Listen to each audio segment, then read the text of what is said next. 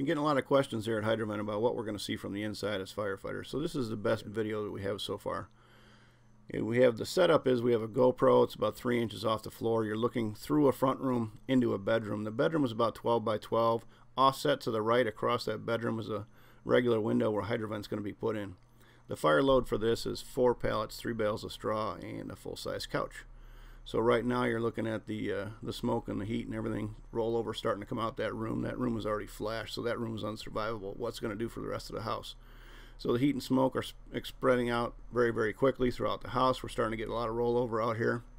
And give it just a few seconds and see what happens with Hydrovent. So the heat is down, the smoke is down about three foot. Hydrovent was just placed in the window and you've got the 70 plus gallons a minute coming in four separate straight streams and the hydraulic ventilation out that favorably influences your flow path out through the fire room. So you can see what it did to the fire.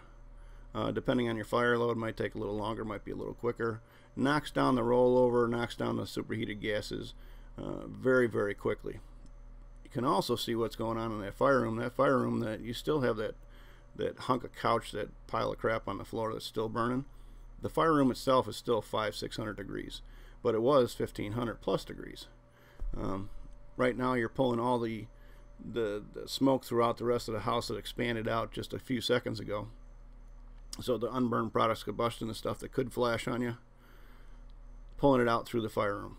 So that's why it got black right now. It occluded that whole that whole window, and it's still being pulled out. And you'll see in just a few seconds here that we're actually uh, the environment was safe enough and the fire was under control. We had safety lines and everything going that we actually walk in here and, and show you. So just hold on and here you go. So you can see from uh, that smoke and heat being down below the three foot level just a few seconds ago to us walking in. Fire still going in the room and if you see it in just a minute here you'll see it uh, kick up a little bit here and there. But there's a smoldering hunk of crap in that room and it's hot. Um, look at we're holding our hands up high and it's actually uh, quite a difference.